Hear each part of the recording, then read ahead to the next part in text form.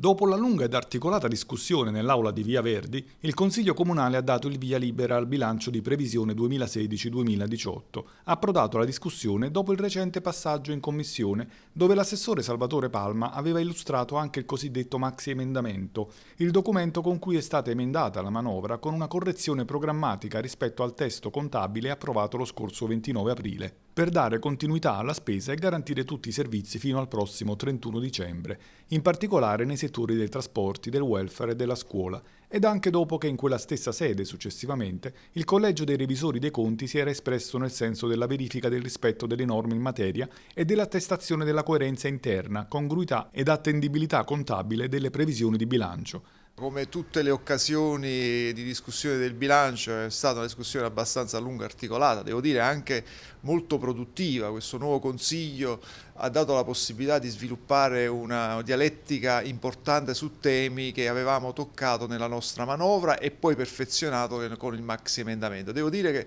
io sono molto soddisfatto, il sindaco e tutta l'amministrazione è soddisfatta perché non abbiamo solamente chiuso un documento di programmazione dell'annualità 2016, ma abbiamo annunciato, anche con numeri devo dire, una uh, svolta che questa amministrazione vuole dare all'ente in una programmazione di lungo respiro. Infatti noi già a partire dal 2016 abbiamo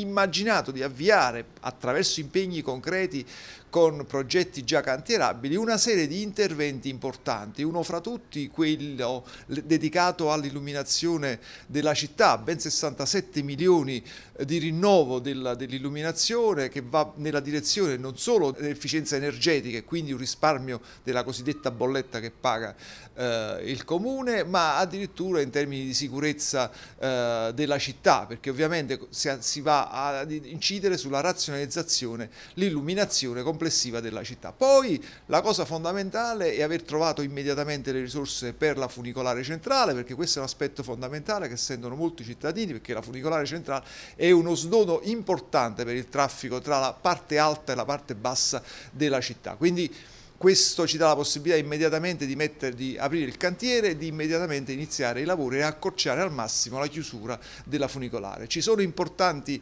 risorse per la mobilità, abbiamo oltre 98 milioni previsti con il, il PON eh, metro eh, per i treni, abbiamo messo ulteriori 95 milioni con un'operazione BEI per eh, avere nel 2018 eh, una quota maggiore di, eh, diciamo, di, di, di unità mobili.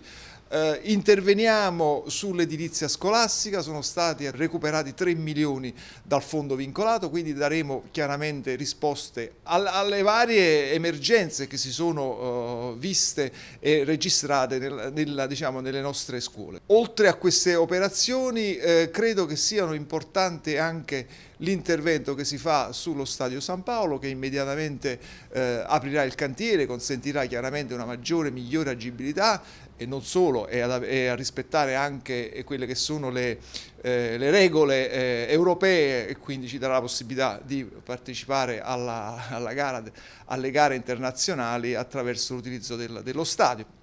Abbiamo tante altre eh, altri interventi nell'ambiente che sono previsti nel nostro maxi emendamento, insomma una manovra di ben 475 milioni che partono dal 2016 in un respiro che addirittura arriva fino al 2022. Riteniamo di aver fatto il massimo tenuto conto che il 2016 è un anno spezzato in due parti, la parte iniziale che è della vecchia amministrazione, la parte che adesso che è della nuova amministrazione, la nuova consigliatura che si è insediata pochi giorni fa.